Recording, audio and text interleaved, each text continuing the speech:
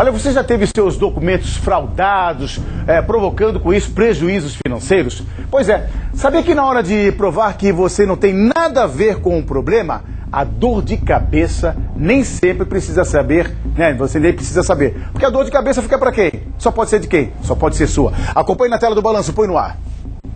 Juliana só descobriu que o CPF foi clonado quando tentou comprar uma moto e constatou que o nome dela estava no SPC. Eu fui no Serasa, peguei aquelas folha, aquela folha que eles dão com o nome e com aquilo ali eu fui no Procon. A ação no CPF durou uns três meses. Você conseguiu ganhar o dinheiro de volta? Consegui.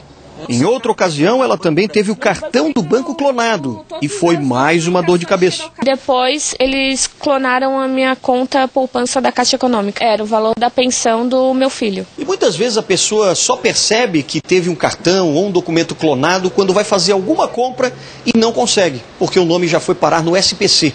Em todo o Brasil, só no ano passado, mais de 1 milhão e 600 mil pessoas caíram nesse tipo de golpe. Imediatamente, quando o consumidor tiver a ciência de que isso está acontecendo, procura a autoridade policial e registra o boletim de ocorrência.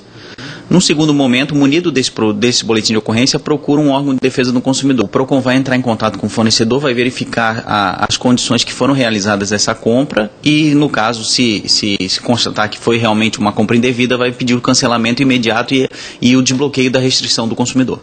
Para esse advogado, membro da Comissão dos Direitos do Consumidor da OAB, na maioria das vezes, uma empresa não tem estrutura para lidar com esse tipo de problema e acaba deixando o consumidor sozinho, correndo atrás do prejuízo. Existe inclusive dispositivo na legislação de defesa do consumidor, que é o Código de Defesa do Consumidor, que diz que há a inversão né, do ônus da prova.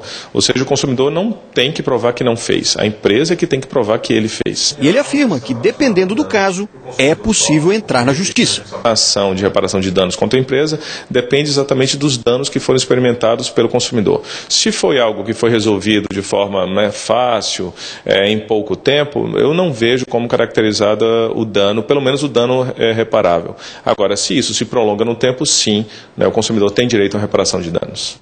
Tem que ficar, ó, olhos bem abertos aí. Tá cheio de golpe por aí na internet, telefone celular, mensagem que você recebe quase todos os dias.